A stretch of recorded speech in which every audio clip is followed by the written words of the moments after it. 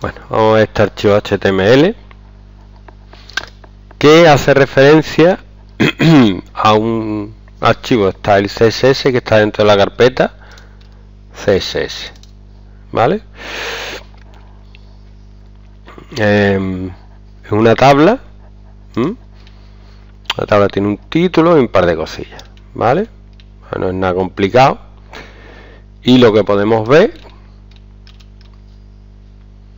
en estilo es que sirve para importar otros estilos desde otro archivo. Es decir, yo tengo aquí con el link de siempre que eh, me refiero a un archivo de estilo que se llama estilo CSS. Pero cuando yo en ese archivo pongo arroba import URL, lo que hace es importar el contenido de este archivo tablas, es decir, el formato de tabla, aquí tengo todo el formato de tablas que queda tan bonito, y lo mete aquí encima.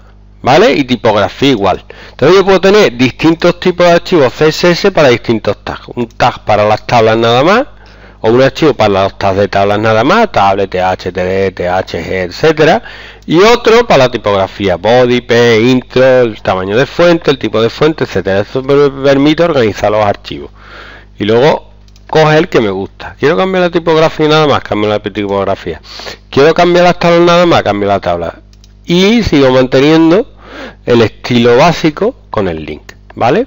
Distinto a lo que hago en el 5.5. En el 5.5 lo que hago es meter tres links a los tres archivos y punto. Estoy haciendo exactamente lo mismo, solo que en uno lo importo desde el archivo CSS, en este lo importo los tres del archivo HTML, pero el efecto es exactamente el mismo, ¿vale?